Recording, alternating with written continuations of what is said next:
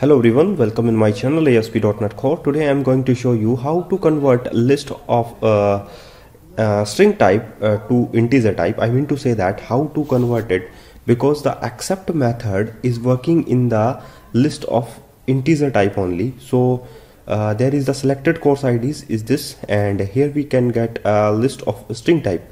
Just I want to uh, how uh, want to convert that uh, selected course id to integer type. I mean to say that list of string type convert to integer type. So just you you can use dot select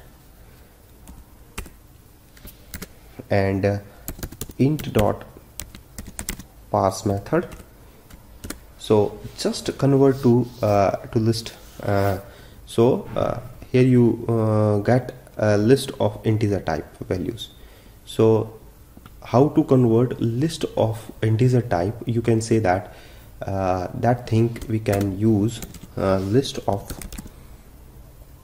um, int equals to list of string.